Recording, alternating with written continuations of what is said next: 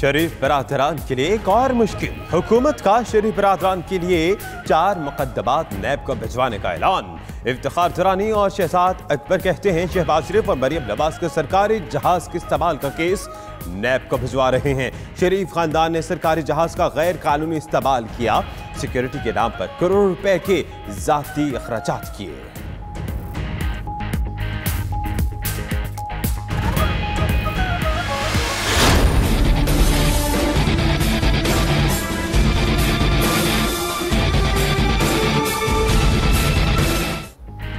جعلی accounts case انور مجید اے جی مجید اور حسین لوائی کو اسلام آباد منتقل کرنے کا حکم کیس کی سماعت کے دوران چیف جسٹس سے ریمارکس دیے۔ انور مجید کو کراچی سے پیمز اسپتال اے جی مجید اور حسین لوائی کو اڈیالہ جیل بھیجا جائے۔ عدالت کی جے آئی ٹی کو دس روز میں رپورٹ مکمل کر کے پیش کرنے کی ہدایت۔ بینکس کو ادائیگیاں نہ کرنے پر کارروائی کا حکم۔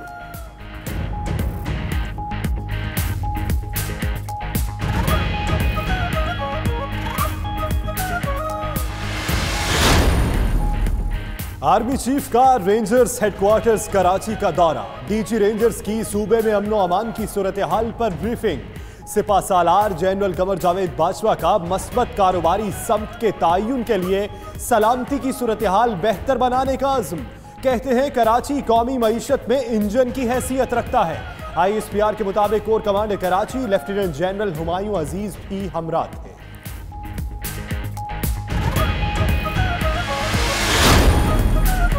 سپریم کورٹ نے کراچی سرکل ریلوے بحال کرنے کا حکم دے دیا۔ کراچی بھر میں ریلوے کی زمینوں کو واگزار کرانے کا بھی حکم ڈیپٹی کمشنرز کے ذریعے تمام علاقوں سے ریلوے لائن کلیئر کی جائے ٹرام لائن بھی بحال کی جائے کیس کی سماعت کے دوران مارکس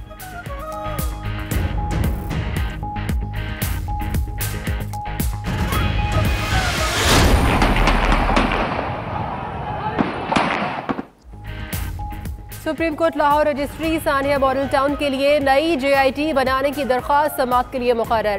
چیف جسٹس کی سربراہی میں دو رکنی بینچ انیس نومبر کو درخواست کی سماعت کرے گا۔ عدالت کی جانب سے نواز شریف، شہباز شریف، حمزہ شہباز رانا ثناء اللہ، دانیال عزیز، پرویز رشید کو نوٹسز جاری، خواجہ سعد رفیق، خواجہ آصف، عابد شیر علی اور دیگر ملزمان کو بھی نوٹسز ارسال۔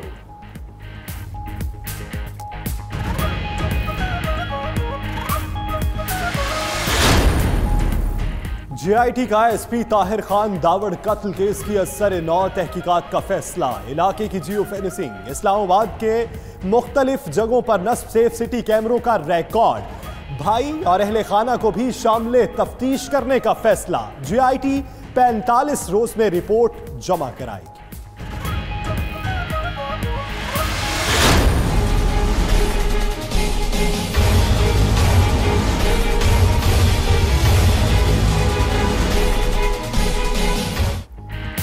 وزیر اعظم کے چیوٹن کے بیان پر اپوزیشن کو تنقید کا موقع مل گیا۔ خورشید شاہ نے کہا کسی عامر نے بھی خود کو ہٹلر اور نیپولین سے مشابہت نہیں دی۔ عمران خان یوٹن والے بیان پر بھی یو ٹرن لیں گے۔ خواجہ آصف کا ٹویٹ گورنر سندھ عمران اسماعیل وزیر اعظم کے بیان کی حمایت میں بول پڑے۔ کہا، جب تک لیڈر یو ٹرن نہیں لیتا، بڑے فیصلے نہیں کر سکتا۔ صدر مملکت عارف الوی کا بھی۔ زندگی کے ہر موقع پر یو ٹرن لینے کا احترام۔ جتنے فلودے والوں کے سر پہ کھیلنے والے اور شکنجوی والوں کے سر پہ کھیلنے والے اور ویلڈنگ والوں کے سر پہ کھیلنے آ رہے یہ سارا خام مال ہے جیل کا۔ جتنی انسان کے بس میں ہے، وہ عمران خان کوشش کر رہا ہے۔ کرپٹ لوگ جیل میں جائیں گے۔ وزیر ریلوے شیخ رشید کہتے ہیں، جنہوں نے گاجریں کھائی ہیں، انہیں پھکی ملے گی۔ چودھری نثار نون لیگ میں ہیں، نہ ہی پی ٹی آئی میں آ رہے ہیں۔ عمران خان جتنی محنت کر رہے ہیں، کسی نے نہیں کی۔ ریلوے کی ایک ایک انچ سے قبضہ ختم کرائیں گے۔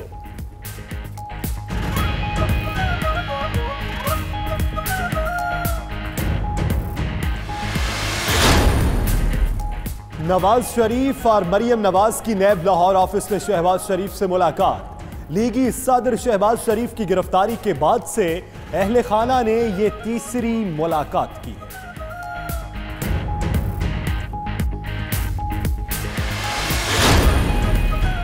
سرمایہ کار دل کھول کر سرمایہ کاری کریں۔ حکومت سہولیات دے گی وزیر اعلیٰ پنجاب عثمان بزار کہتے ہیں، تحریک انصاف کی حکومت عام آدمی کے ساتھ کھڑی ہے۔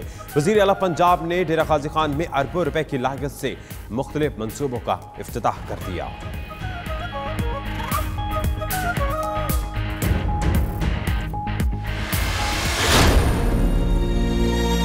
ظالم کس کے لیے آیا تھا؟ وہ ظالم نے کس کے لیے پیار کیا تھا کراچی میں قائد آباد دھماکے کا مقدمہ، سی ٹی ڈی میں درج دھماکے کی رپورٹ ارسال بم نکارہ بنانے کی تصاویر نائنٹی ٹو نیوز نے حاصل کر لی۔ دھماکے میں دو افراد جام بحق، بارہ زخمی ہوئے۔ وزیر اعلیٰ سندھ مراد علی شاہ نے زخمیوں کی عیادت کی، مکمل تحقیقات کا حکم۔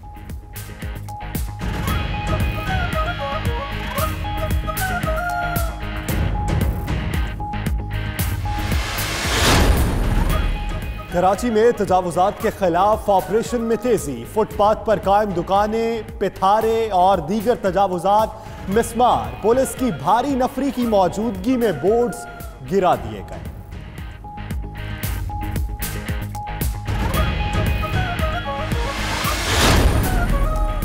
کوئٹہ میں رحیم کالونی میں فائرنگ، سابق ایس پی نعیم کاکڑ جاں بحق سابق ایس پی کو شدید زخمی حالت میں اسپتال منتقل کیا گیا، مگر وہ جاں پر نہ ہو سکے۔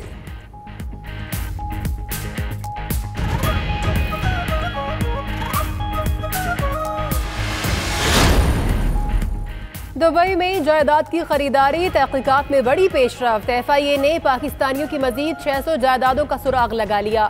متعلقہ افراد کو نوٹسز جاری کرنے کا فیصلہ پراپرٹی کی مالیت کھربوں روپے میں ہے۔ جائیداد پر صرف ٹیکس کی رقم دو ہزار ارب بنتی ہے۔ ایف آئی اے حکام کی وضاحت۔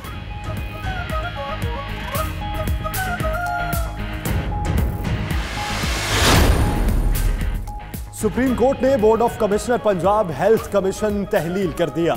چیف جسٹس کا دو ہفتوں میں نیا بورڈ تشکیل دینے کا حکم۔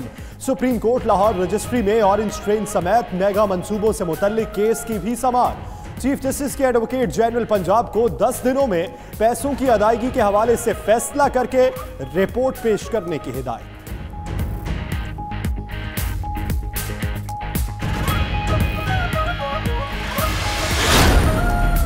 بحریہ ٹاؤن کراچی میں اراضی کے الاٹمنٹ سے متعلق کیس، نیب کی تحقیقاتی رپورٹ سپریم کورٹ میں پیش۔ بحریہ ٹاؤن کو زمین کی غیر قانونی الاٹمنٹ میں دو سیاستان شامل غیر قانونی الاٹمنٹ میں اٹھارہ سرکاری افسران بھی ملوث نکلے۔ بحریہ ٹاؤن نے پلاٹ کی الاٹمنٹ کے مد میں عوام سے دو سو پندرہ ارب روپے وصول کیے۔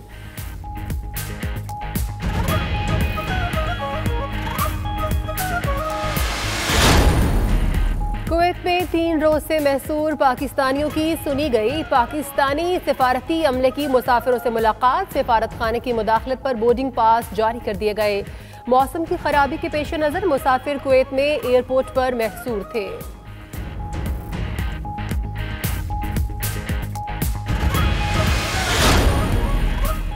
وزیر اعلیٰ سندھ کا پانی کے میگا پروجیکٹ کے فور کا جائزہ لینے کے لیے کینجھر جھیل کا دورہ۔ حکام کے منصوبے کی بریفنگ۔ میڈیا سے گفتگو میں مراد علی شاہ نے کہا کہ کے فور منصوبے کے کافی ٹیکنیکل ایشوز ہیں جنہیں حل کر لیا جائے گا۔ منصوبے کی تکمیل کی کوئی ڈیڈ لائن نہیں دے سکتے۔ وقت ضرور لگے گا، مگر کراچی والوں کو اسی منصوبے سے پانی ملے گا۔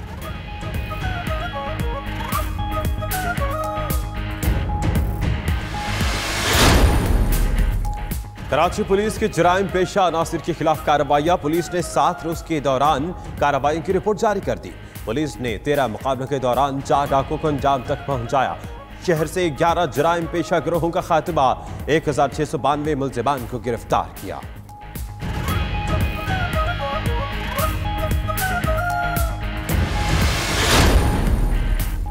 پاکستان نے کشمیری حریت رہنما آسیہ اندرابی کے خلاف بھارتی تحقیقاتی ایجنسی کی چارج شیٹ مسترد کر دی۔ ترجمان دفتر خارجہ کا کہنا ہے کہ بھارت کی کشمیری جد و جہد آزادی کو دہشت گردی کا رنگ دینے کی کوششیں ناکام ہو چکی ہیں۔ بھارت مسلسل انسانی حقوق کی خلاف ورزی کر رہا ہے۔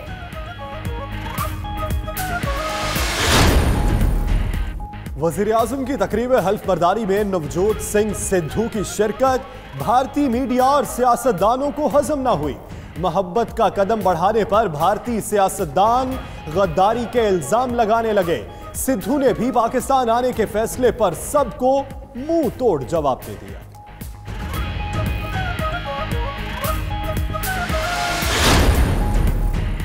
امریکی اتحادی فورسز کے شام کے صوبے دیرلزور میں فضائی حملے، چالیس افراد ہلاک، بچے اور عورتیں بھی شامل۔ امریکی عسکری حکام نے شامی صوبے میں فضائی حملوں کی تصدیق کر دی۔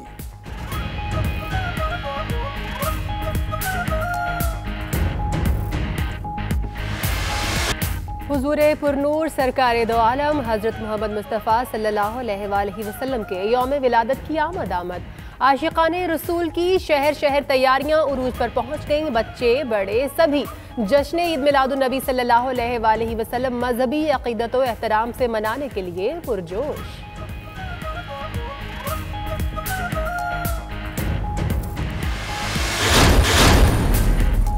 ایشین کرکٹ کونسل کی سالانہ جنرل کونسل کا اجلاس بنگلہ دیش کے ناظم الحسن دو سال کے لیے صدر بن گئے۔ ایشین کرکٹ اہم ہے، اپنی ایمرجنگ ٹیم پاکستان بھیجیں گے نو منتخب صدر ناظم الحسن کا اعلان۔